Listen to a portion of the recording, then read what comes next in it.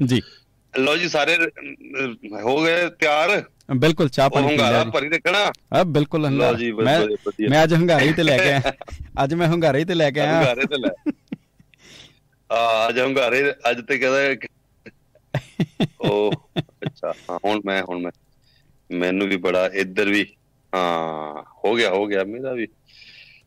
ਮੇਰੇ ਵੀ ਕਾਫੀ ਚੰਬੇਲੇ ਆ ਕੋ ਮੇਰੇ ਵਿੱਚ ਮੇਲੇ ਨੇ ਉਹ ਲਓ ਜੀ ਮੇਰਾ ਇਹ ਲਹਿਜਾ ਹੈਗਾ ਮੈਂ ਲੈਲਪੁਰ ਦਾ ਹੀ ਆ ਪਰ ਇਹ ਝੰਗ ਲੈਲਪੁਰੋਂ ਅੱਗੋਂ ਤੇ 50 ਮੀਲ ਅੱਗੇ ਹੈ। ਤੇ ਇਸ ਕਰਕੇ ਇਹ ਪੁਰਾਣਾ ਜਿਹੜਾ ਨੇਟਿਵ ਲੋਕ ਨੇ ਇੱਥੇ ਦੇ ਬਾਰ ਦੇ ਉਹਨਾਂ ਦੀ ਬੋਲੀ ਹੈ। ਜੀ। ਤੇ ਇਹ ਇਹਨੂੰ ਸੁਣੋ ਜੀ ਕਹਾਣੀ ਹੈ ਮੀਆਂ ਕਮਾਲ ਕਥੀ ਦੀ ਕਥਾ ਕੀਤੀ ਹੈ। ਡਾਕਟਰ ਸਈਦ ਪੁੱਟਾ ਹੋਰਾਂ ਜੋ ਸਾਡੇ ਫੋਕਲੋਰਿਸਟ ਨੇ ਹਿਸਟੋਰੀਅਨ ਨੇ ਔਰ ਪ੍ਰੋਫੈਸਰ ਨੇ ਅੱਜ ਕੱਲ ਗਵਰਨਮੈਂਟ ਕਾਲਜ ਯੂਨੀਵਰਸਿਟੀ ਦੇ ਚੇਅਰਮੈਨ ਨੇ ਡਿਪਾਰਟਮੈਂਟ ਦੇ ਲਾਹੌਰ ਤੇ। ਜੀ। ਉਹਨਾਂ ਨੇ ਇਸ ਨੂੰ ਜੋੜਿਆ ਔਰ ਉਹਨਾਂ ਦਾ ਫੋਕਲੋਰ ਤੇ ਬੜਾ ਕੰਮ ਹੈ 10 12 ਕਿਤਾਬਾਂ ਨੇ ਉਹਨਾਂ ਦੀ ਜੀ। ਤੇ ਕਹਾਣੀ ਹੈ ਰਾਜਾ ਪੋਰਸ। ਬਾਦਸ਼ਾਹ ਢੇਰ ਹਨ ਪਰ ਜਿਹੜਾ ਆਜ਼ਮ ਸਦਵਾਣਾ ਏ ਇਹ ਬਹੁ ਘਟ ਸਦਵਾ ਗਏ ਦਾਰਾ ਆਜ਼ਮ। ਈਰਾਨ ਦਾ ਬਾਦਸ਼ਾਹ ਹੋਇਆ ਹੈ। ਮੁੜ ਸਿਕੰਦਰ ਵੀ ਆਜ਼ਮ ਸਦਵਾਇਆ ਹੈ। ਮੁਗਲ ਬਾਦਸ਼ਾਹ ਅਕਬਰ ਵੀ ਆਜ਼ਮ ਸਦਵਾਇਆ ਤੇ ਅਸ਼ੋਕ ਆਜ਼ਮ ਵੀ ਸਦਵਾ ਗਿਆ ਹੈ। ਸ਼ਾਹਦਾਰਾ ਈਰਾਨ ਦਾ ਬਾਦਸ਼ਾਹ ਹੋਇਆ ਹੈ। ਉਹ ਹਫ ਤਕਲੀਮ ਹੋਇਆ ਹੈ।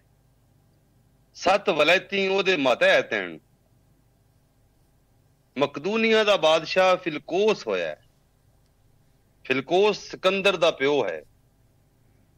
ਇਹ ਫਿਲਕੋਸ ਟੱਕੇ ਤਰੇ ਦਾ ਸ਼ਾਹਦਾਰਾ ਈਰਾਨ ਵਾਲੇ ਦੇ ਅੱਗੇ। ਉਸ ਜ਼ਮਾਨੇ ਜਿਹੜਾ ਟਕਾ ਬਣਿਆ ਹੋਇਆ ਸੋਨੇ ਦੇ ਆਂਡੇ ਬਣਾ ਕੇ ਦਿੰਦੇ ਹਨ। ਫਿਲਕੋਸ ਫੋਤ ਹੋ ਗਿਆ ਤਾਂ 17 ਸਾਲਾਂ ਦੀ ਉਮਰ ਵਿੱਚ ਸਿਕੰਦਰ ਬਾਦਸ਼ਾਹ ਬਣਿਆ। ਜੀ। ਪਿਓ ਦੀ ਗੱਦੀ ਉੱਤੇ ਬਹਿ ਗਿਆ। ਜੀ। ਛਮਾਈ ਗੁਜ਼ਰੀ ਖੜੀ ਆਈ। ਕਿ ਹਲਕਾਰੇ ਬਾਦਸ਼ਾਹ ਧਾਰੇ ਦੇ ਆ ਗਏ ਟਾਖੇ ਉਹ ਆਂਡੇ ਦੇ। ਸਿਕੰਦਰ ਆਖਿਆ ਸਾਡੀ ਉਹ ਕੁਕੜੀ ਮਰ ਗਈ ਹੈ ਜਿਹੜੀ ਆਂਡੇ ਦਿੰਦੀ ਆਈ। ਜੀ। ਵਜ਼ੀਰ ਅਮੀਰ ਤੇ ਮਸਾਹਿਬ ਬੋਲ ਉੱਠਣ। ਸਿਕੰਦਰ ਹੋਸ਼ ਨਾਲ ਗੱਲ ਕਰ ਅਸੀਂ ਈਰਾਨ ਨਾਲ ਲੜਨ ਜੋਗੇ ਕੁਝ ਨਹੀਂ। ਜੀ। ਸਿਕੰਦਰ ਆਖਿਆ ਜਿਤਨਾ ਜਿਉਣਾ ਹੈ ਸ਼ੇਰ ਦੀ ਜ਼ਿੰਦਗੀ ਜਿਉਣਾ ਹੈ ਗਿੱਦੜ ਦੀ ਜ਼ਿੰਦਗੀ ਮੈਨੂੰ ਮਨਜ਼ੂਰ ਨਹੀਂ। ਮੈਂ ਆਪਣੇ ਮੁਲਕ ਦਾ ਪੈਸਾ ਇੱਕ ਬਾਦਸ਼ਾਹ ਦੇ ਡਰ ਤੋਂ ਦੇ ਛੱਡਾਂ। ਨਾ ਉਹ ਧੀ ਦੇ ਲੇਖੇ ਨਾ ਦੇਣ ਦੇ ਲੇਖੇ। ਕਿਉਂ ਦੇਵਾਂ? ਜੀ ਉਦੋਂ ਈਰਾਨ ਤੇ ਵੱਡੇ ਅਰੂਜ ਹੋਏ ਨੇ ਉਹਨਾਂ ਦਾ ਤਾਂ ਛੋ ਹੀ ਨਾ ਭਰਿੰਦਾ ਇਹੋ ਜਿਹਾਂ ਉੱਤੇ। ਸ਼ਾਹਦਾਰੇ ਨੂੰ ਉਹਨਾਂ ਹਲਕਾਰਿਆਂ ਜਾ ਕੇ ਗੱਲ ਕੀਤੀ ਕਿ ਸਿਕੰਦਰ ਬਾਗੀ ਹੋ ਗਿਆ। ਜੀ ਬਗਾਵਤ ਤਰੋੜਨ ਕਾਨ ਸ਼ਾਹਦਾਰਾ ਈਰਾਨ ਤੋਂ ਚੜਿਆ ਤੇ ਮਕਦੂਨੀਆ ਦੀ ਕੱਦ ਨਾਲ ਜਾ ਝੰਡਾ ਲਾਇਆ ਜੀ। ਜਿਹੜੀ ਕੌਮ ਉਠਿੰਦੀ ਪਈ ਹੋਵੇ, ਉਹ ਜਫਾਕਸ਼ ਹੁੰਦੀ ਈਰਾਨੀ ਕੌਮ ਅਰੂਜ ਤੇ ਗਈ ਖਲੋਤੀ ਆ ਇਹ ਸ਼ਰਾਬੀ ਹੋ ਚੁੱਕੇ ਹਨ, ਜ਼ਾਨੀ ਹੋ ਚੁੱਕੇ ਹਨ ਤੇ ਅਯਾਸ਼ ਹੋ ਚੁੱਕੇ ਹਨ। ਸਿਕੰਦਰ ਦੀ ਕੌਮ ਈਰਾਨੀਆਂ ਨੂੰ ਧੱਕ ਕੇ ਈਰਾਨ ਜਾਂ ਝੰਡਾ ਲਾਇਆ ਹੈ। ਇਤਨਾ ਪਿਛਾ ਮਾਰ ਆਂਦਾ ਸੂ ਇਤਨੇ ਤਾਈ ਈਰਾਨੀ ਜੰਗ ਤੋਂ ਤੰਗ ਆ ਚੁੱਕੇ ਹਨ ਕਿਉਂ ਜੋ ਐਸ਼ਾ ਨਾ ਰਹੀਆਂ। ਉਸ ਵੇਲੇ ਉਹ ਸਵਾਣੀਆਂ ਦੀ ਜਵਾਨੀ ਡੁੱਡੀਂਦੇ ਹਨ ਰਾਗ ਡੁੱਡੀਂਦੇ ਹਨ। ਜਿਸ ਵੇਲੇ ਕੋਈ ਕੌਮ ਤਰੁੱਟੇ ਤਾਂ ਇਹਨਾਂ ਕਿੰਨਿਆਂ ਕੰਮਾਂ ਉਤੇ ਆਪ ਹੁੰਦੇ ਨੇ ਜਿਵੇਂ ਅੱਜ ਕੁੱਕੜਾਂ ਉਤੇ ਆਪ ਪੈਣ ਖੈਰ ਜੰਗ ਹੋ ਰਹੀ ਹੈ ਜੀ। ਸ਼ਾਹਦਾਰੇ ਦੇ ਦੋ ਸ਼ਾਹਦਾਰੇ ਦੇ ਦੋ ਵਜ਼ੀਰ ਮੈਦਾਨੇ ਜੰਗ ਵਿੱਚ ਰਾਤ ਦਾ ਵਕਤ ਹੈ ਉਹ ਆ ਗਏ ਜੀ। ਅਖੇ ਅਸਾਂ ਸਿਕੰਦਰ ਨੂੰ ਮਿਲਣਾ ਹੈ। ਸ਼ਾਹਦਾਰੇ ਦੇ ਵਜ਼ੀਰਾਂ ਸਿਕੰਦਰ ਆਖਿਆ ਤਲਾਸ਼ੀ ਲੈ ਲਵੋ ਤੇ ਆਉਣ ਦਿਓ। ਉਹਨਾਂ ਆਖਿਆ ਰੁਪਈਆ ਲੱਖ ਸਾਨੂੰ ਦੇ। ਦਿਓ ਭਰੇ ਅਸਾਂ ਤੈਨੂੰ ਧਾਰਾ ਮਾਰ ਦਿੰਦੇ ਆ ਜੀ। ਸਿਕੰਦਰ ਲੱਖ ਲਿਖ ਦਿੱਤਾ। ਜਿਹੜੇ ਵੇਲੇ ਧੰਮੀ ਫੌਜਾਂ ਕੱਟ ਕੀਤਾ ਸ਼ਾਹਦਾਰੇ ਤਕਰੀਰ ਕੀਤੀ ਜਿਵੇਂ ਨਾਦਰ ਦੀ ਪੌੜੀ ਹਾਲਾਤ ਹੈ।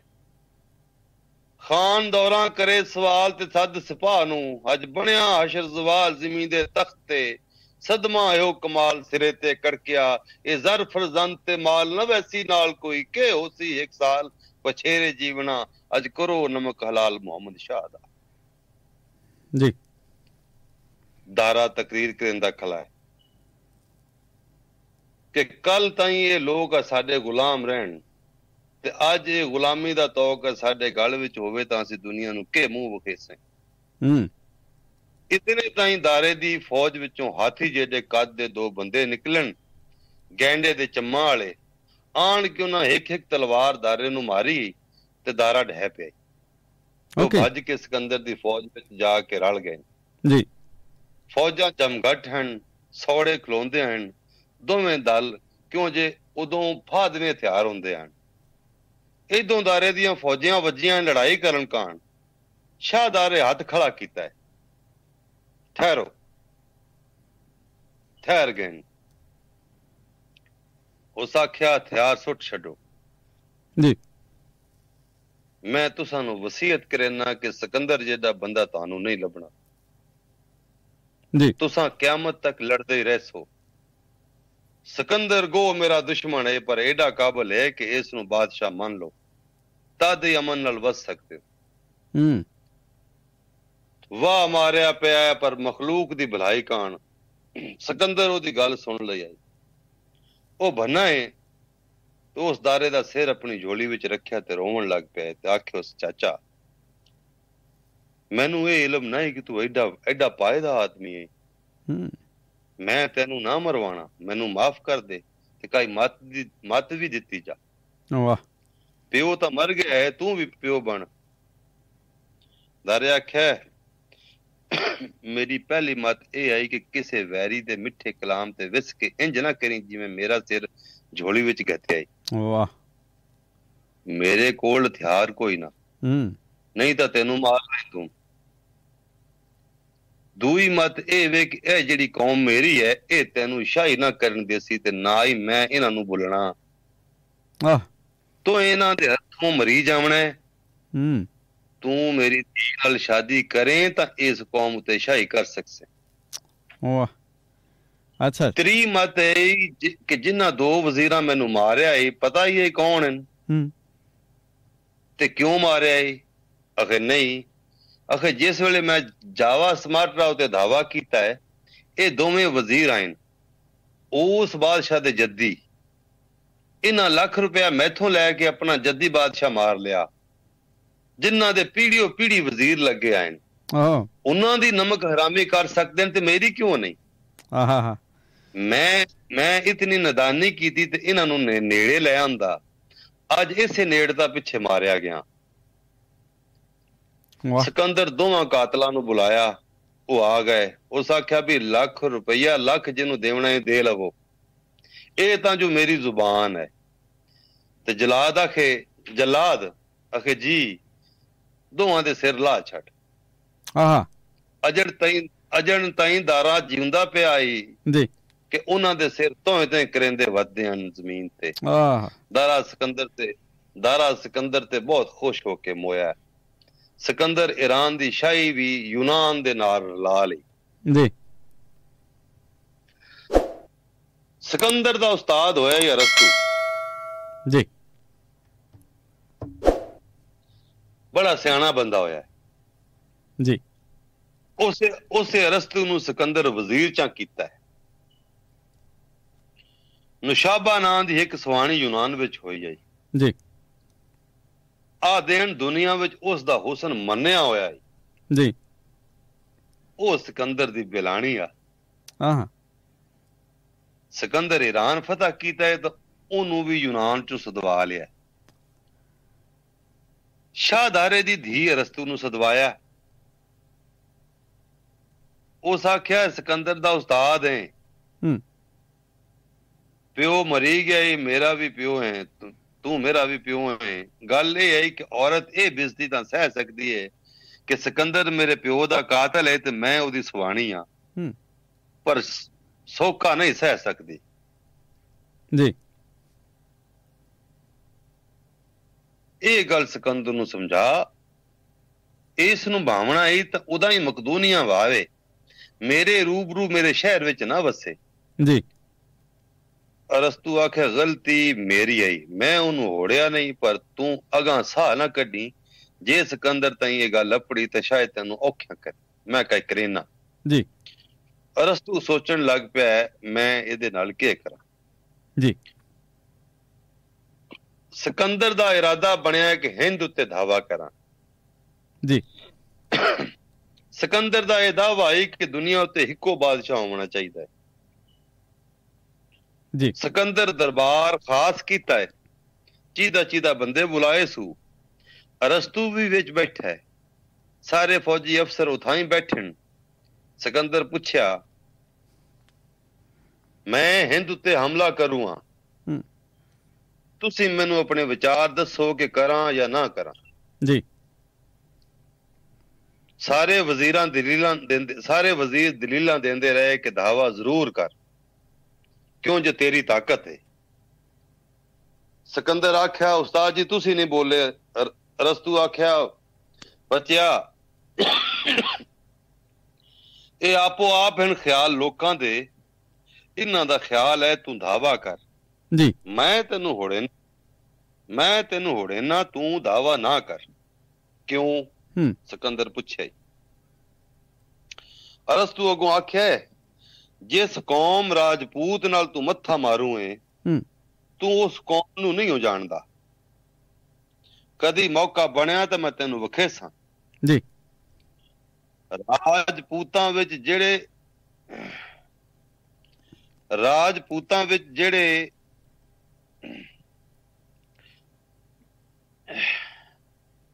ਜਿਹੜੇ ਜਤੀ ਸਤੀ ਹੋਸਣ ਉਹ ਸਾਰੇ ਜਿਹੜੇ ਜਤੀ ਸਤੀ ਰਾਜਪੂਤਾਂ ਵਿੱਚ ਜਿਹੜੇ- ਜਤੀ ਸਤੀ ਹੋਸਣ ਉਹ ਸਾਰੀ ਉਮਰ ਸ਼ਾਦੀ ਨਾ ਕਰੇ ਸਨ। ਹੂੰ। ਉਸ ਕੌਮ ਨਾਲ ਤੂੰ ਮੱਥਾ ਮਾਰੂ ਏ ਤੇ ਖੇਡ ਦਾ ਛੋਰੀ ਨਾਲ ਏ। ਹੂੰ। ਜਿਨ੍ਹਾਂ ਨਾਲ ਤੂੰ ਮੱਥਾ ਲਾਉਂ ਏ ਉੱਥੇ ਫਵਾਰੇ ਖੂਨ ਦੇ ਉੱਡਦੇ ਨੇ ਤੇ ਜਿਹੜੇ ਤੇਰੇ ਕਰਤੂਤ ਹਨ ਇੱਥੇ ਸ਼ਰਾਬ ਰਾਗ ਤੇ ਨਾਚ ਆਹ। ਮੈਂ ਤੈਨੂੰ ਆਨਾ ਲੜਾਈ ਨਾ ਕਰ। ਜੀ। ਕਾਫੀ ਆਈ ਮੁਲਕ ਆਪਣਾ ਤੇ ਇਥਾਂ ਹੀ ਖਾ ਪੀ। ਜੀ। ਸੋਚ ਸੋਚ ਕੇ ਸਿਕੰਦਰ ਢੇਰ ਢਿਲ ਪਿੱਛੋਂ ਬੋਲਿਆ ਉਸਤਾਦ ਜੀ ਮੇਰੇ ਵਿੱਚ ਕੋਈ ਭੈੜ ਨਹੀਂ ਪਰ ਨੁਸ਼ਾਬਾ ਵਾਸਤੇ ਮੈਂ ਕਸਮ ਚੇਨਾ ਕਿ ਉਹਦਾ ਪਿਆਰ ਛੱਡ ਦੇਸਾਂ। ਆਹ। ਉਹ ਉਹ ਚਾਹੁੰਦਾ ਹੀ ਉਹ ਚਾਹੁੰਦਾ ਹੀ ਇਹੀ ਹੁਆ ਉਹਦੀ ਗੱਲ ਮੰਨੀ ਗਈ। ਜੀ। ਦਰਬਾਰ ਚੋਂ ਉੱਠ ਕੇ ਘਰ ਗਿਆ ਤਾਂ ਨੁਸ਼ਾਬਾ ਹਾਰ ਸ਼ਿੰਗਾਰ ਕਰਕੇ ਉਹਦੇ ਕੋਲ ਬੈਠ ਕੋਲ ਜਾ ਪੜੀ। ਸਿਕੰਦਰ ਮੂੰਹ ਫੇਰ ਲਿਆ। ਹੂੰ। ਸਿਕੰਦਰ ਦਾ ਮੂੰਹ ਫੇਰਨਾ ਕਿ ਉਹਦੇ ਦਿਲ ਤੇ ਠੋਕਰ ਲੱਗੀ। ਜੀ। ਹਾਫਜ਼ ਬਰਖੁਰਦਾਰ ਆਦਾ ਹੈ। ਅਸਲ 'ਚ ਜਿਹੜੀਆਂ ਸ਼ਾਇਰੀਆਂ ਪਾਈਆਂ ਨੇ ਉਹਨੇ ਅੱਜ ਦੀਆਂ ਪਾਈਆਂ ਨੇ ਜੀ। ਕਹਾਣੀ ਦੇ ਵਿੱਚ। ਹਾਫਜ਼ ਬਰਖੁਰਦਾਰ ਆਦਾ ਹੈ। ਅੱਜ ਯਾਰ ਨਾ ਮਿਲਿਆ ਹੱਸ ਕੇ ਕਈ ਭਾਰੀ ਬਣੀ ਮੁਸੀਬ। ਕਿਸੇ ਦੂਤੀ ਪਕੜ ਰੰਜਾਣਿਆ ਮੇਰਾ ਮਿਰਜ਼ਾ ਯਾਰ ਗਰੀਬ। ਮੈਂ ਨਿਜ ਜੰਮਦੀ ਘਰ ਮਾਪਿਆਂ ਜਾਂ ਹੁੰਦੀ ਨੇਕ ਨਸੀਬ। ਤੇ ਬਚਣ ਮੁਹਾਲ ਆਜ਼ਾਰੀਆਂ ਜਦੋਂ ਰੋਗੀ ਹੋਣ ਤਬੀਬ। ਉਹਦੇ ਹੱਥੀ ਮਹਿੰਦੀ ਰੰਗਲੀ ਉਹ ਆਈ ਹੈ ਮੈਲੜੇ ਦੇਸ ਵੇਸ। ਜੱਟ ਦੇ ਕੇ ਵੱਟ ਸਰੀਰ ਨੂੰ ਪਿਆ ਗੁੱਸੇ ਨਾਲ ਤਕੇਸ। ਔਰ ਨੈਸੂ ਨਜ਼ਰ ਮਿਹਰ ਦੀ ਭਾਲਦਾ ਪਿਆ ਤੇਗਾ ਨਾਲ। ਤਾਨਿਆਂ ਨਾਲ ਸੜੇਸ ਸਾਨੂੰ ਨਿਤ ਉਡੀਕਾਂ ਤੇਰੀਆਂ ਲੈ ਜਾ ਰਾਵੀ ਦੇ ਦੇਸ। ਵਾਹ। ਨੁਸ਼ਾਬਾ ਰੋਵਣ ਲੱਗ ਪਈ ਹੈ ਕਿ ਕੀ ਕਸੂਰ ਹੈ ਮੇਰਾ। ਤੂੰ ਮੂੰਹ ਫੇਰ ਲਿਆ। ਸਿਕੰਦਰ ਆਖਿਆ ਤੇਰਾ ਕਸੂਰ ਕੋਈ ਨਹੀਂ। ਮੈਂ ਆਪਣੇ ਉਸਤਾਦ ਰਸਤੂ ਅੱਗੇ ਕਸਮ ਚਾਹੀ ਹੈ ਕਿ ਕਿਸੇ ਸਵਾਣੀ ਵੱਲ ਨਾ ਵੇਖਸਾਂ ਹੂੰ। ਨੁਸ਼ਾਬਾ ਆਖਿਆ ਰਸਤੂ ਉਸਤਾਦ ਦੀ 80 ਸਾਲ ਉਮਰ ਹੈ ਹੂੰ। ਰਸਤੂ ਮੈਂ ਨਹੀਂ ਡਿੱਠਾ ਹੋਇਆ ਤੇ ਉਸ ਮੈਨੂੰ ਨਹੀਂ ਡਿੱਠਾ ਹੋਇਆ। ਮੇਰੇ ਨਾਲ ਲਗਾ। ਮੈਂ ਸੁਣਿਆ ਕਿ ਉਹ ਬਾਗ ਦੇ ਵਿੱਚ ਰਹਿੰਦਾ ਹੈ। ਜੇ ਉਹ ਵੇਖ ਕੇ ਈਮਾਨ ਵਿੱਚ ਰਹਿ ਜਾਵੇ ਤਾਂ ਤੇਰੀ ਕਸਮ। ਹੂੰ। ਜੇ ਉਸਤਾਦ ਹੋਰੀ ਆਪ ਡਹਿ ਜਾਵਣ ਤਾਂ ਵੱਧ ਤੇਰੀ ਕਸਮ ਕੋਈ ਨਹੀਂ। ਹਾਂ। ਸਿਕੰਦਰ ਨੂੰ ਪੱਕ ਹੈ ਕਿ ਹੋ ਸਕਦਾ ਹੀ ਨਹੀਂ ਕਿ 80 ਸਾਲ ਉਮਰ ਉਸ ਦੀ ਤੇ ਉਲਟਾ ਮੈਨੂੰ ਮਤੀ ਦੇਵਣ ਵਾਲਾ। ਅੱਛਾ ਨਸ਼ਾਬਾ ਆਖਿਆ ਚੱਲ ਤੁਰ ਪਏ।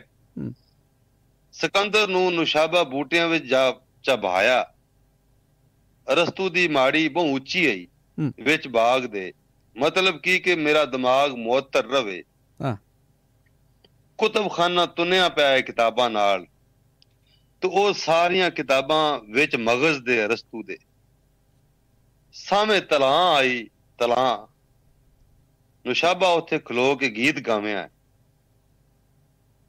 ਤੱਕਿਆ ਜਾਂ ਰਸਤੂ ਜਾਂ ਬਹਿਸ਼ ਦੀ ਹੂਰ ਭੁੱਲੀ ਪੈ ਕੇ ਆ ਗਈ ਜਾਂ ਪਰੀ ਪਰਸਤਾਨ ਤੋਂ ਉੱਤਰ ਆਈ ਹੈ ਜੀ ਆਦਮ ਦੀ ਜ਼ਾਤ ਤਾਂ ਹੈ ਨਹੀਂ। ਹੂੰ। ਮਾੜੀ ਤੋਂ ਲਈ ਆਇਆ।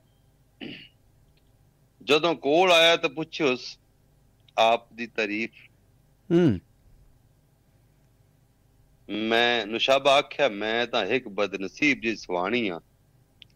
ਮੇਰਾ ਨਾਂ ਨੁਸ਼ਾਬਾ ਹੈ ਆਹ। ਉਹ ਨੁਸ਼ਾਬਾ ਯੂਨਾਨ ਵਾਲੀ। ਹੂੰ। ਅਖੇ ਜੀ ਹਾਂ।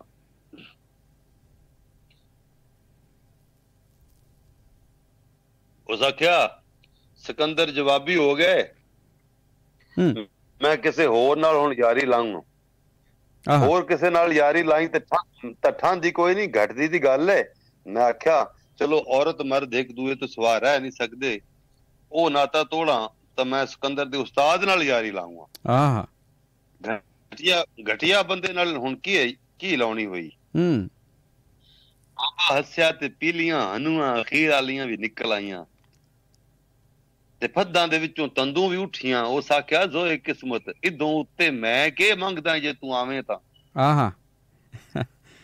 ਪਾਣੂ ਪੇਰ ਸੁਰ ਪੀਰ ਸੁਰੰਦੀਏ ਜੰਜ ਯਾਰ ਦੀ ਆਵੇ। ਰਸਤੂ ਆਖਿਆ ਚੱਲ। ਅਖੇ ਮੈਨੂੰ ਚਾਲ ਆ। ਹੂੰ। ਰਸਤੂ ਆਖਿਆ ਬਿਨਾ ਠਿੱਲ ਜਾਵੀ ਵੇਖਣ ਵਾਲਾ ਕੋਈ ਕੀ ਆਖਸੀ ਕਿ ਮੈਨੂੰ ਮੋਢਿਆਂ ਤੇ ਚਾਲ ਹੈ ਆਹ। ਤੇ ਰਸਤੂ ਆਖਿਆ ਬੇੜਾ ਠਿੱਲ ਜਾਵੀ ਵੇਖਣ ਵਾਲਾ ਕੋਈ ਕੀ ਆਖਸੀ ਹੂੰ। ਐ ਇਸ਼ਕ ਜਿਨ੍ਹਾਂ ਦੇ ਖਿਆਲ ਪਿਆ ਸੋਈ ਝੁਕਦੇ ਝੁਕਦੇ ਝੁਕ ਗਏ ਨਹੀਂ ਰਤੀ ਮਾਸ ਨਾ ਹਾ ਤਨ ਆਸ਼ਕਾਂ ਦੇ ਉਹ ਸੁੱਕਦੇ ਸੁੱਕਦੇ ਸੁੱਕ ਗਏ ਨਹੀਂ ਹੂੰ। ਦੁੱਖਾਂ ਆਣ ਕੇ ਸੁੱਖਾਂ ਨੂੰ ਜ਼ੇਰ ਕੀਤਾ ਸੁੱਖ ਲੁਕਦੇ ਲੁਕਦੇ ਲੁਕ ਗਏ ਨਹੀਂ ਅਲੀ ਹੈਦਰਾ ਵੇ ਤੂੰ ਆਸ਼ਕਾਂ ਦੇ ਐਵੇਂ ਧੁੱਕਦੇ ਧੁੱਕਦੇ ਧੁੱਕ ਗਏ ਆਹ ਨੁਸ਼ਾਬਾ ਆਖਿਆ ਮੈਂ ਵੇਖੂਆਂ ਤੂੰ ਮੁਹੱਬਤ ਕਰੂੰ ਏ ਕਿ ਐਵੇਂ ਡਾਂਗ ਲਾਊ ਏ ਹੂੰ। ਹੋ ਸਕਿਆ ਤੂੰ ਠੀਕ ਆਖਿਆ। ਜੀ। ਬਾਬਾ ਝੁਕ ਗਿਆ ਹੈ ਤੇ ਉਹ ਉੱਤੇ ਚੜ ਗਈ। ਜੀ। ਆਦਾ ਹੈ।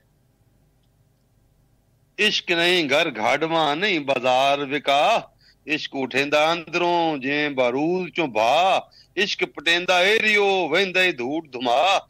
ਇਸ਼ਕ ਇਲਮ ਸਿਟਾਵੇ ਆਲਮਾ ਤਖਤ ਸੁਟਣ ਬਾਦਸ਼ਾਹ। ਇਸ਼ਕ ਪਾੜੇ ਬੁਰਕੇ ਸਤਰ ਦੇ ਲਾਏ ਸ਼ਰਮਾਇਆ।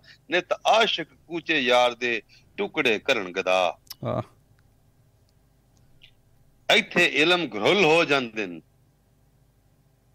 ਬਾਬਾ ਨਿਉ ਗਿਆ ਹੈ ਤੇ ਉਹ ਪਲਾਕੀ ਮਾਰ ਕੇ ਚੜੀ ਗਈ ਤੇ ਆਖਿਆ ਸੂ ਚੱਲ ਮੇਰੇ ਘੋੜੇ। ਆਹ ਸਿਕੰਦਰ ਸਿਕੰਦਰ ਵੇਂਦਾ ਪਿਆ। ਜੀ। ਸਿਕੰਦਰ ਦਾ ਰੰਗ ਹੋ ਗਏ ਜਿਵੇਂ ਤਪ ਫਾਲਾ ਆਉਂਦਾ ਹੈ ਲਾਲ ਵਿਚਾਲੇ ਅੱਗ ਦੇ। ਆਹ। ਮੈਨੂੰ ਕੀ ਆਦਾ ਹੈ? ਮੈਨੂੰ ਕੀ ਆਦਾ ਹੈ?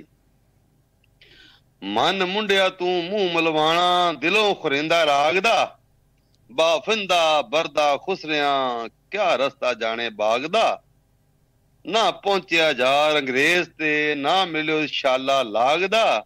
ਕੁੰਨਾ ਭਰਿਆ ਮੂਤਰ ਦਾ ਕੇ ਲਾਵਣ ਸਵਾਇਣ ਤੇ ਜਾਗਦਾ। ਸਿਕੰਦਰ ਅੱਗੇ ਆ ਗਿਆ।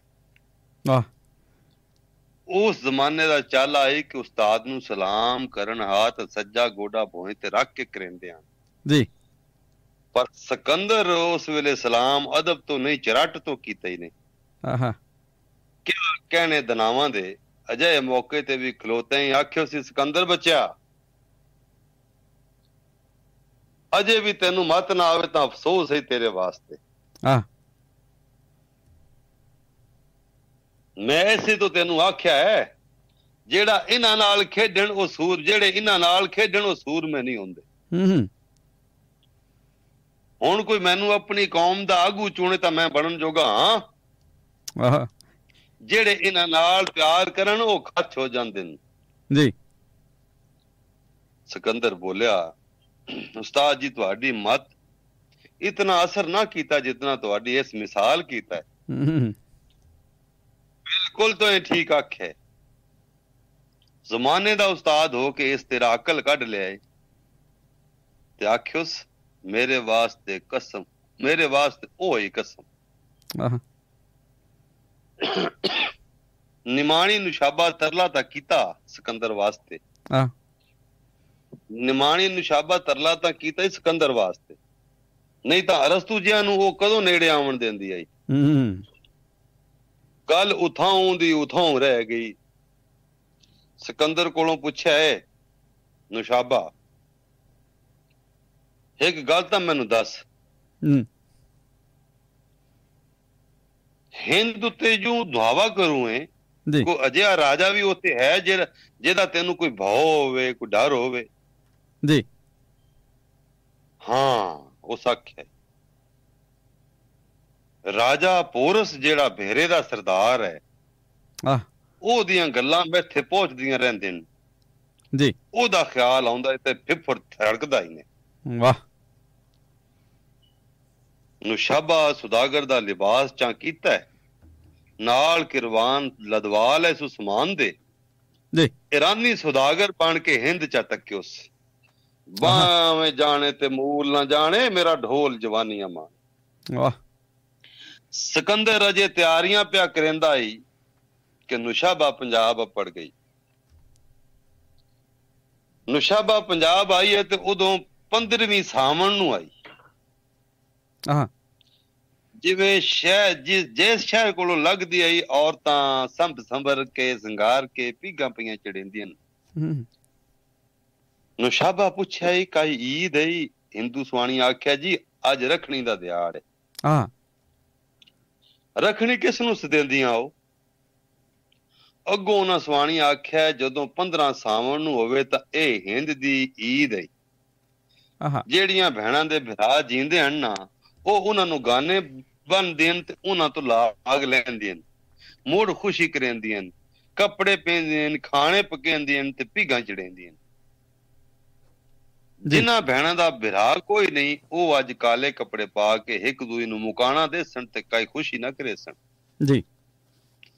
ਸ਼ਾਲਾ ਜ਼ਿੰਦਗੀ ਹੋਵੇ ਦਰਾਜ਼ ਤੇਰੀ ਭੈਣਾ ਸ਼ਾਲਾ ਜ਼ਿੰਦਗੀ ਹੋਵੇ ਦਰਾਜ਼ ਤੇਰੀ ਭੈਣਾ ਜੀਂਦੀਆਂ ਭਾਈਆਂ ਦੇ ਬਾਹਰ ਉੱਤੇ ਨੁਸ਼ਾਬਾ ਪੁੱਛਿਆ ਰਾਜੇ ਪੋਰਸ ਦੀਆਂ ਕਿਤਨੀਆਂ ਭੈਣਾਂ ਹਨ? ਜੀ। ਉਹਨਾਂ ਆਖਿਆ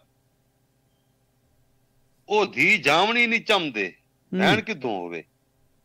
ਕਾਈ ਨਹੀਂ ਸੂ? ਜੀ। ਆਖਰ ਨਹੀਂ। ਨੁਸ਼ਾਬਾ ਬਹਿ ਕੇ ਨੌ ਲੜੀਆ ਗਾਣਾ ਗਾਨਾ ਚ ਬੱਧਾ ਜਿਸ ਵਿੱਚ ਯਾਕੂਤ ਹਨ ਜਿਵੇਂ ਰਾਜੇ ਦੀ ਸ਼ਾਨ ਆਈ। ਜੀ। ਜ਼ਰਕ ਬਰਕ ਲਿਬਾਸ ਪਾ ਕੇ ਗਾਨਾ ਹੱਥ ਵਿੱਚ ਨੱਪ ਕੇ ਰਾਜੇ ਪੋਰਸ ਦੀ ਹਵੇਲੀ ਆ ਵੜੀ ਆਈ। ਰਾਜਾ ਪੋਰਸ ਆਪਣੇ ਸ਼ਾਹੀ ਮਹਿਲ ਵਿੱਚ ਬੈਠਾ ਹੈ। ਜੀ। ਸਿਕੰਦਰ ਦਾ ਐਲਾਨ ਜੰਗ ਦਾ ਆ ਚੁੱਕਾ ਹੈ। ਜੀ। ਪੋਰਸ ਮੇਜ਼ ਉਤੇ ਹਿੰਦ ਤੇ ਈਰਾਨ ਦਾ ਨਕਸ਼ਾ ਰੱਖਿਆ ਹੋਇਆ ਹੂੰ।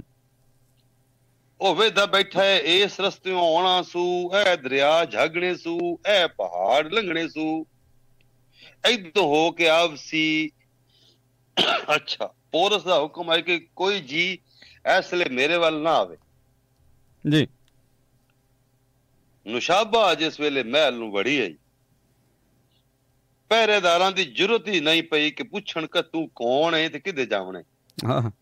ਹੁਸਨ ਇੱਕ ਹੁਸਨ ਇੱਕ ਅਜਿਹੀ ਖੁਦਾਦਾਦ ਚੀਜ਼ ਹੈ ਕਿ ਇਹਨੂੰ ਡਿੱਠਿਆਂ ਹਰ ਇੱਕ ਦਾ ਦਿਲ ਪਿਘਰ ਵੈਂਦਾ ਹੀ ਜੀ। ਬੇਗਮਾਤ ਵਾਲੇ ਮਹਿਲ ਵਿੱਚ ਆਈ ਤੇ ਜਿਤਨੀਆਂ ਰਾਣੀਆਂ ਮਹਾਰਾਣੀਆਂ ਬੈਠੀਆਂ ਹਨ ਸਭ ਨੇ ਉੱਠ ਕੇ ਸਲਾਮ ਕੀਤਾ ਜੀ। ਪਤਾ ਕੋਈ ਨਹੀਂ ਇਹ ਕੌਣ ਹੈ? ਨੁਸ਼ਾਬਾ ਪੁੱਛਿਆ ਰਾਜਾ? ਅਖੇ ਮਹਿਲ ਵਿੱਚ ਬੈਠਾ ਤੇ ਇਹ ਅਗਾਂ ਟੁਰਦੀ ਰਹੀ ਹੈ। ਉਹ ਇੱਕ ਦੂਈ ਤੋਂ ਪੁੱਛਦੀ ਹਨ ਕਿ ਇਹ ਕੌਣ ਹੈ? ਜੀ। ਇਸ ਨੂੰ ਪੱਕੇ ਕਿ ਜਿਸ ਵੇਲੇ ਪੋਰਸ ਮੇਰੇ ਵੱਲ ਵੇਖਣਾ ਹੈ ਮਰਦ ਤਾਂ ਅਜਿਹਾ ਹੈ ਕੋਈ ਨਾ ਜਿਹੜਾ ਆਸ਼ਿਕ ਨਾ ਹੋ ਜਾਵੇ। ਜੀ। ਮੈਂ ਬਿਰਾ ਮੈਂ ਬਿਰਾ ਬਣਾਉਣ ਪਈ ਵੈਨੀ ਇਨਸ਼ਾਅੱਲਾ ਬਚ ਜਾਵਾਂ। ਜਿਸ ਵੇਲੇ ਪੋਰਸ ਦੇ ਮਹਿਲ ਦੇ ਅੱਗੇ ਅਪੜੀਏ ਤੇ ਪਛਾਵਾਂ ਪਰਛਾਵਾਂ ਪਿਆ ਇਹਨ ਪੋਰਸ ਉਤਾਂ ਪੋਰਸ ਉਤਾਂ ਸਿਰ ਚਰ ਸਿਰ ਕਰਕੇ ਤੱਕਿਆ ਜੀ।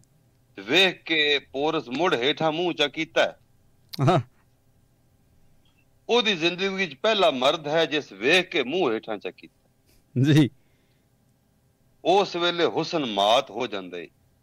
ਵਾਹ। ਜਿਹੜਾ ਵੀ ਕਸਬ ਕਿਸੇ ਦਾ ਹੋਵੇ ਜਿੱਥੇ ਪਰਵਾਹ ਨਹੀਂ ਜਿੱਥੇ ਨਿਆਜ਼ ਨਹੀਂ ਉੱਥੇ ਨਾਜ਼ ਨਹੀਂ ਹੋ ਸਕਦਾ। ਨਾਜ਼ ਹੁੰਦਾ ਹੀ ਜਿੱਥੇ ਸੱਜੇ। ਆਹ। ਖਲੋ ਰਹੀ। ਜੀ। ਢੇਰ ਗੁਜ਼ਰ ਗਿਆ ਏ। ਪਰ ਉਸ ਇਹ ਨਹੀਂ ਪੁੱਛਿਆ ਕਿ ਤੂੰ ਕੌਣ ਹੈ ਤੇ ਕਿਵੇਂ ਆਈ ਹੂੰ? ਹੂੰ, ਢੇਰ ਚਿਰ ਗੁਜ਼ਰ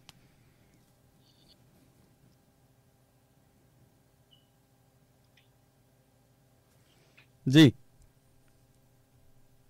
ਢੇਰ ਚਿਰ ਗੁਜ਼ਰ ਗਿਆ ਏ ਪਰ ਉਸ ਹਿੱਕ ਨਹੀਂ ਪੁੱਛੀ। ਇਹ ਨਹੀਂ ਪੁੱਛਿਆ ਕਿ ਤੂੰ ਕੌਣ ਹੈ ਤੇ ਕਿਵੇਂ ਆਈ। ਜੀ।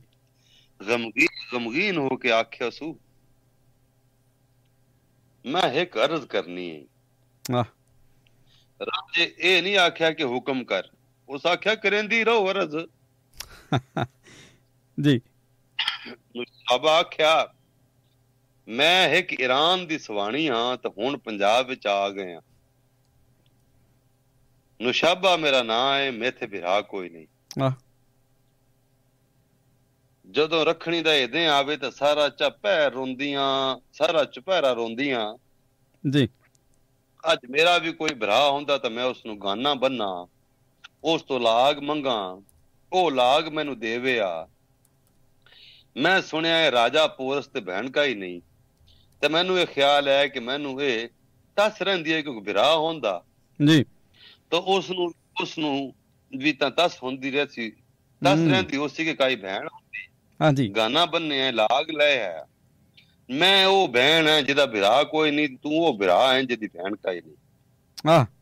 ਮੇਰਾ ਹੜ ਆਈ ਤੂੰ ਹੱਥ ਅਗਾਂ ਕਰ। ਮੈਂ ਗਾਨਾ ਬੰਨਾ ਤੂੰ ਮੈਨੂੰ ਲਾਗ ਦੇ। ਜੀ। ਪੋਰਸ ਦੀਆਂ ਹੰਝੂ ਊੜੀਆਂ ਅੱਖ ਪੋਰਸ ਆਖੇ ਵਿਚਾਰੀਓ ਭੈਣੋ ਤੁਹਾਨੂੰ ਤਾਂ ਇਹ ਸਿੱਖ ਰਹਿੰਦੀ ਹੋਈ ਤਾਂ ਅਸਾਂ ਮਰਦਾਂ ਨੂੰ ਤਾਂ ਇਹ ਸਿੱਖ ਹੁੰਦੀ ਕਾਏ ਨਹੀਂ। ਹੂੰ, ਤੇ ਖਾਸ ਕਰਕੇ ਰਜਪੂਤ ਕੌਮ ਨੂੰ ਪਰ ਮੇਰੇ ਬੂਹੇ ਤੇ ਕੋਈ ਸਾਇਲ ਆਇਆ ਤਾਂ ਮੈਂ ਖਾਲੀ ਹੱਥ ਭਵਾਇਆ ਕਦੀ ਨਹੀਂ। ਜੀ।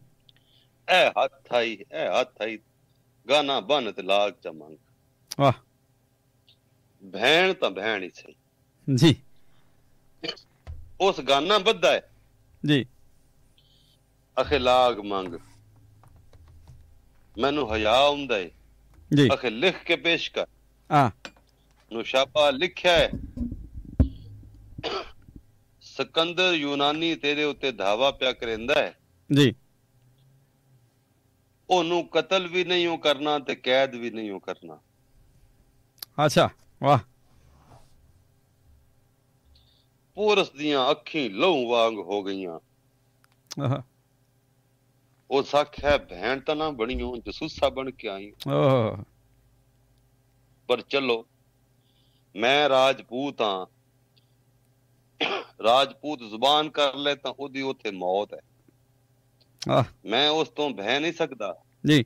ਮੈਂ ਨਾ ਕੈਦ ਕਰੇ ਸਾਂ ਨਾ ਕਤਲ ਕਰੇ ਸਾਂ ਪਰ ਤੂੰ ਐ ਹੁਣ ਬਹਿਣਾ ਇੱਥੇ ਹੈ। ਬਾਹਰ ਨਹੀਂ ਉਹ ਨਿਕਲ ਸਕਦੀ ਤੂੰ ਬੋਰਸ ਪੋਰਸ ਦੀ ਭੈਣ ਹੈ।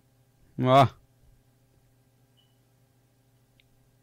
ਮੈਂ ਨਾ ਕੈਦ ਕਰੇ ਸਾਂ ਨਾ ਕਤਲ ਕਰੇ ਸਾਂ ਪਰ ਤੂੰ ਐ ਹੁਣ ਬਹਿਣਾ ਇੱਥੇ।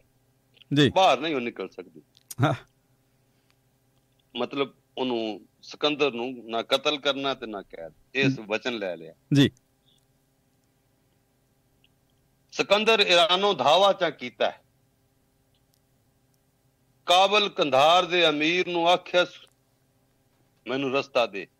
ਜੀ। ਉਸ ਆਖਿਆ ਰਸਤੇ ਮੰਗਦੇ ਹਨ ਤਰੇ ਸ਼ਰਤਾਂ ਨਾਲ ਬਾਦਸ਼ਾਹ। ਹੂੰ। ਇਸ ਸ਼ਰਤ ਨਾਲ ਕਿ ਜਿਹੜਾ ਮੁਲਕ ਅੱਗੋਂ ਫਤਹ ਹੋਇਆ ਉਹਦੇ ਵਿੱਚੋਂ ਹਿੱਸਾ ਦੇਵਣਾ ਹੈ। ਹਿੱਸਾ ਦੇ ਸੇ। ਜੀ। ਅਖੇ ਨਹੀਂ। ਦੂਈ ਸ਼ਰਤ ਇਹ ਜਿਹੜੀ ਸਾਡੀ ਵਾਹੀ ਵਿਗੜੇ ਜਾਂ ਬਾਗ ਉਜੜਨ ਤੇ ਉਹਨਾਂ ਦਾ ਤਵਾਨ ਅਦਾ ਕਰੇ ਸੇ। ਅਖੇ ਨਹੀਂ। ਜੀ। ਤਰੀ ਗੱਲ ਹਿੰਮਤ ਵਾਲੀ ਅਖੇ ਮੈਂ ਹਿੰਮਤ ਨਾਲ ਹਿੰਮਤ ਨਾਲ ਲੈਸਾਂ ਜੁਰਤ ਹੈ ਤਾਂ ਲੜ ਪਓ। ਜੀ। ਉਸ ਬੁਲਾਇਆ ਆਪਣੀਆਂ ਫੌਜਾਂ ਨੂੰ। ਆਖਿਓ ਉਸ ਬੜੀ ਬਿਜ਼ਤੀ ਹੈ ਉਸ ਬਾਦਸ਼ਾਹ ਦੀ ਜਿਹੜਾ ਮੁਕਾਨ ਹੀ ਨਾ ਦੇਵੇ ਤੇ ਦੁਸ਼ਮਣ ਨੁਕਸਾਨ ਵੀ ਕਰ ਜਾਵੇ। ਜੀ। ਵਜ਼ੀਰ ਆਖਿਆ ਨਾ ਲੜੀਏ ਸਿਕੰਦਰ ਨਾਲ। ਇਹਦਾ ਭਾਰ ਨਹੀਂ ਚਾਇਆ ਜਾ ਸਕਦਾ। ਜੀ। ਸਿਕੰਦਰ ਦੀ ਤਾਕ ਹੈ ਹਿੰਦੁਸਤਾਨ ਉੱਤੇ ਤੇ ਇਹਦੀ ਟੱਕਰ ਰਾਜਪੂਤਾਂ ਨਾਲ ਹੈ। ਹੂੰ। ਸਿਕੰਦਰ ਜਦੋਂ ਉਦੋਂ ਹਟਣਾ ਹੈ ਤੇ ਇਹ ਰੰਗਤ ਨਹੀਂ ਹੋਣੀ। ਹਟੇ ਹੋਏ ਨੂੰ ਅਕਸੇ ਹਿੱਸਾ ਦੇ ਜਾਂ ਲੱਗਣ ਨਹੀਂ ਸੇ ਦਿੰਦੇ। ਆਮਦਨ ਇਹਦੀ ਨਾ ਖਾ। ਜੀ। ਉਹਨਾਂ ਹਥਿਆਰ ਛੱਡ ਛੱਡੇ। ਜਿਹੜਾ ਰਾਜਾ ਮਹਾਰਾਜਾ ਅੱਗੋਂ ਆਉਂਦਾ ਗਿਆ ਹਥਿਆਰ ਛਟੇਂਦਾ ਗਿਆ। ਜੀ। ਸਿਕੰਦਰ ਟੈਕਸ ਲੈ ਉੱਤੇ ਆ ਗਿਆ। ਰਾਜਾ ਅੰਬੀ ਹੋਇਆ ਹੈ ਟੈਕਸ ਲੈ ਦਾ ਰਾਜਾ। ਜੀ। ਉਸ ਬਾਜ ਲੜਾਈ ਦੇ ਹਥਿਆਰ ਸੱਟ ਦਿੱਤੇ ਨੇ। ਅੰਬੀ ਦਾ ਹਥਿਆਰ ਸੱਟਣਾ ਕਿ ਸਿਕੰਦਰ ਤੱਕ ਸਿਕੰਦਰ ਦੀ ਤੱਕ ਸੋਮਨਾਥ ਤੇ ਜਾ ਖੜੀ ਹੈ। ਹੂੰ। ਮੈਨੂੰ ਹੁਣ ਕੋਈ ਡੱਕ ਨਹੀਂ ਸਕਦਾ। ਜੀ। ਸਿਕੰਦਰ ਵੇਤ ਦੇ ਲੈਂਦੇ ਵਾਲੇ ਪਾਸੇ ਰੁਕਿਆ ਹੈ। ਜੇਲਮ ਦੇ ਲੈਂਦੇ ਵਾਲੇ ਪਾਸੇ ਰੁਕਿਆ ਹੈ। ਜੀ। ਏਲਚੀ ਘਲਿਆ ਸੂ ਪੋਲਸ ਹਲ। ਕਿ ਮੈਂ ਸੁਣਦਾ ਰਹਿਣਾ ਕਿ ਤੂੰ ਵੱਡਾ ਜ਼ਿੱਦੀ ਜਿਹਾ ਰਾਜਾ ਹੈ ਰਾਜਾ ਹੈ। ਜੀ। ਮੈਂ ਜਾਵਣਾ ਸੋਮਨਾਥ ਉੱਤੇ। ਹਥਿਆਰ ਸੱਟ ਜਿਵੇਂ ਅੰਬੀ ਸੱਟੇ ਨੇ। ਆਹ। ਮੈਨੂੰ ਲੱਗਣ ਦੇ। ਜੀ। ਪੋਰਸ ਵਲਦਾ ਗੱਲਿਆ ਹੀ ਅੰਬੀ ਰਾਜਾ ਹੀ ਰਾਜਪੂਤ ਨਹੀਂ ਨਸਲੀ ਨਹੀਂ ਨਸਲ ਮਜਬੂਰ ਕਰੇਂਦੀ ਏ ਲੜਨ ਕਾਨ ਆਹ। ਪਹਿਲਾ ਨਸਲੀ ਰਾਜਪੂਤ ਮੈਂ ਪਿਆ ਸ਼ੁਰੂ ਹੋਣਾ ਹੈ। ਰਾਜਪੂਤਾਂ ਦੀਆਂ 8 ਨਸਲਾਂ ਹਨ। ਰਾਜਪੂਤ ਡੋਗਰ ਚੌਹਾਨ ਰਠੌਰ ਤਨਵਾਰੇ। ਬੱਠੀ ਚਦੜ ਬਰਸ ਰਾਜਧਾਨੀ ਬਰੇ। ਤਖਤ ਹਸਨਪੁਰ ਬਸਰਾ ਪਰ ਫਰਮਾ ਰਵਾ ਰਹੇ ਹੋਰ ਸਖੇ ਮੈਂ ਰਾਜਪੂਤ ਹਾਂ। ਤੂੰ ਟਕੇ ਮੰਗੇ ਸੇ ਮੈਂ ਇਨਕਾਰ ਕਰੇ ਸਾਂ ਜੀ ਕੁਰਬਾਨੀ ਮੰਗੇ ਸੇ ਤਾਂ ਮੈਂ ਇਤਨੀ ਕੁਰਬਾਨੀ ਦੇ ਸਾਂ ਕਿ ਭੇਰਾ ਰ- ਰੜੀ ਹੋ ਜਾਸੀ ਵਾਹ ਉਸ ਵੇਲੇ ਪਹਿਲਾ ਪੈਰ ਰੱਖੇ ਸੇ ਸੋਮਨਾਥ ਤੈਨੂੰ ਦੂਰ ਨਜ਼ਰ ਆਉਸੀ ਤੂੰ ਪਿਆ ਜਾਣਨਾ ਘੋੜੇ ਦੇ ਸੁੰਭਾਂ ਹੇਠ ਹੈ ਸੋਮਨਾਥ ਲੜਾਈ ਸ਼ੁਰੂ ਹੋ ਗਈ ਜੀ 4 ਮਹੀਨੇ ਗੁਜ਼ਰ ਗਏ। ਸਿਕੰਦਰ ਨੂੰ ਜੇਲਮ ਨਹੀਂ ਲੱਗਣ ਦਿੱਤਾ ਇਹ ਪੋਰਸ। ਜੀ। ਵੇਹਤ ਨਹੀਂ ਲੰਘਣ ਦਿੱਤਾ ਇਹ ਪੋਰਸ।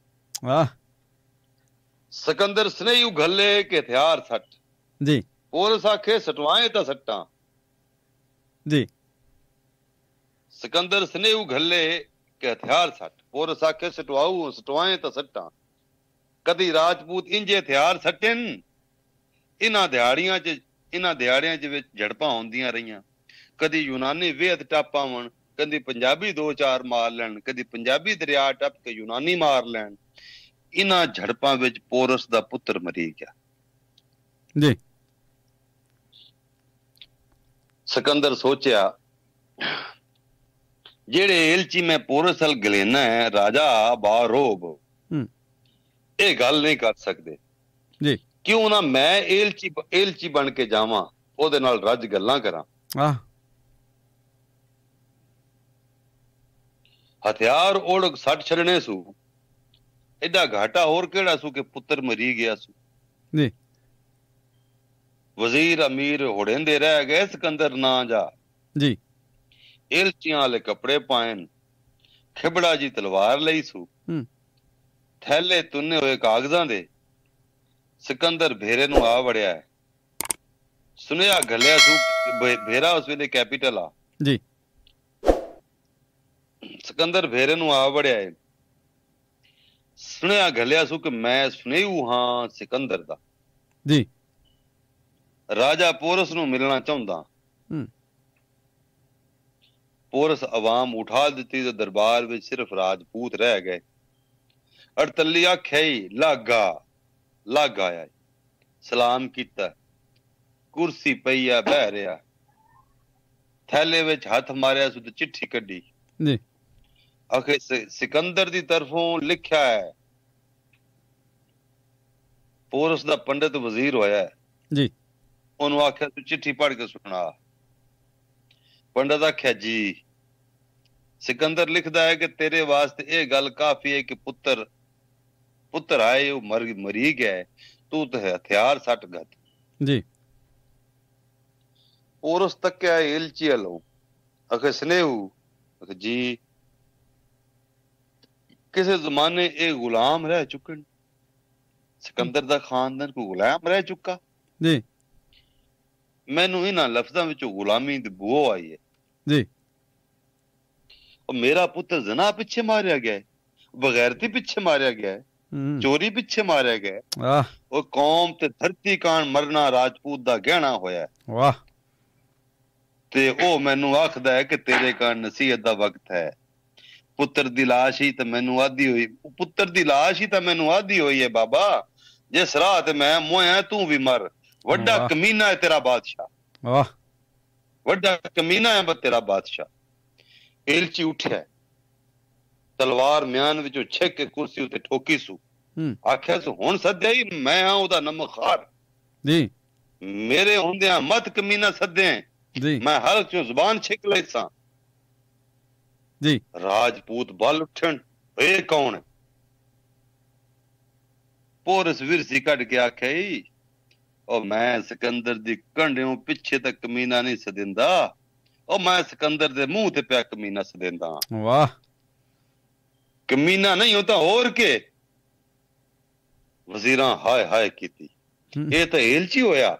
ਹਾਂ ਉਸ ਆਖਿਆ ਏਲਚੀ ਮੇਰੇ ਕੋਲ ਅੱਗੇ ਵੀ ਆਉਂਦੇ ਨੇ ਇਹ ਸ਼ਾਹੀ ਅੱਗ ਹੈ ਜਿਹੜੀ ਅੱਗੋਂ ਖੰਮਦੀ ਹੈ ਵਾਹ।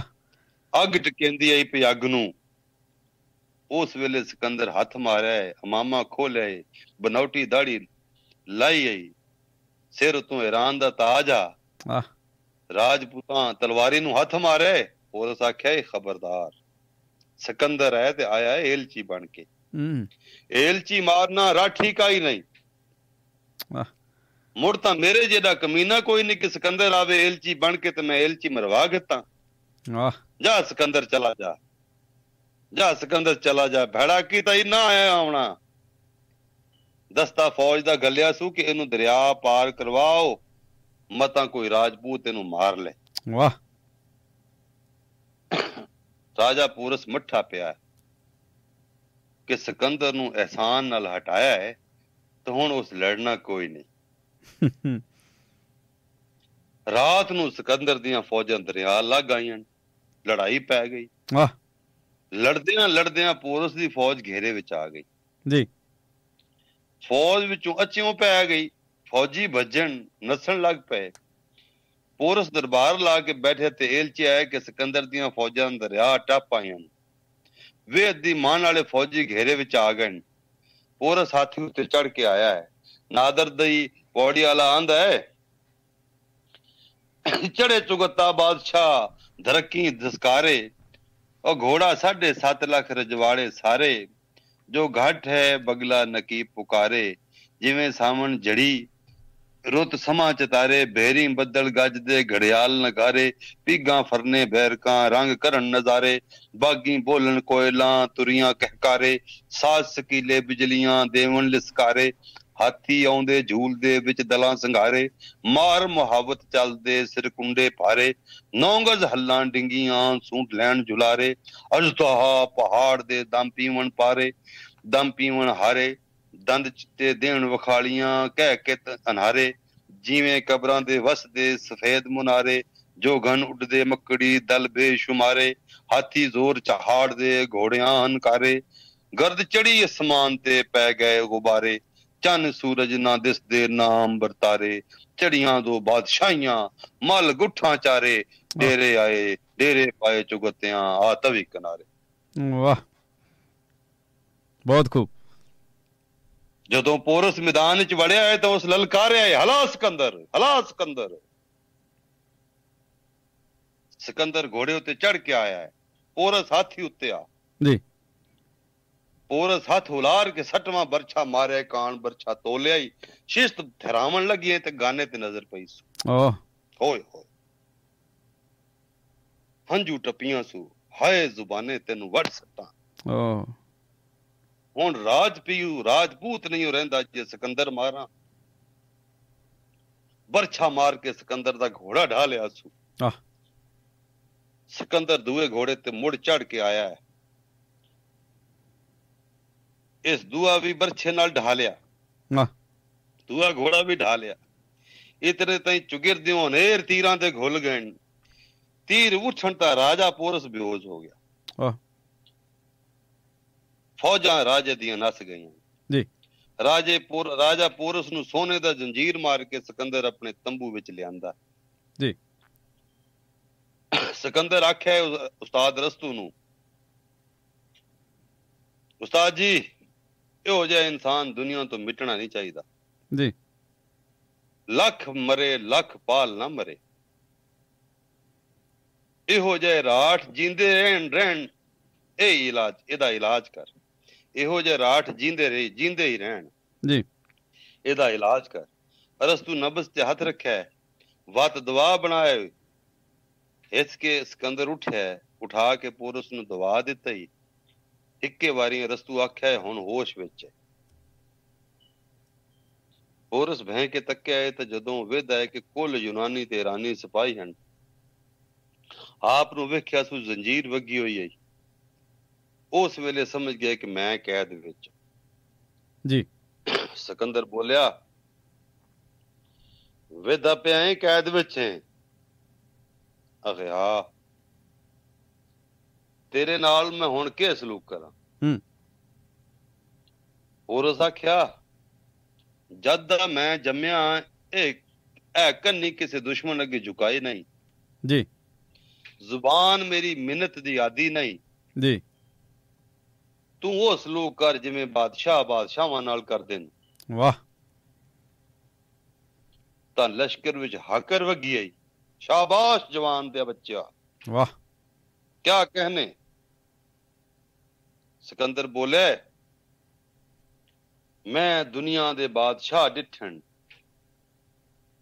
ਪਰ ਤੇਰੇ ਜਿਹਾ ਬਹਾਦਰ ਨਹੀਂ ਡਿੱਠਾ। ਵਾਹ। ਪੋਰਸ ਆਖਿਆ ਮੈਂ ਵੀ ਦੁਨੀਆ ਦੇ ਬਾਦਸ਼ਾਹ ਡਿੱਠਣ ਪਰ ਤੇਰੇ ਜਿਹਾ ਕਮੀਨਾ ਕੋਈ ਨਹੀਂ ਡਿੱਠਾ। ਓਹ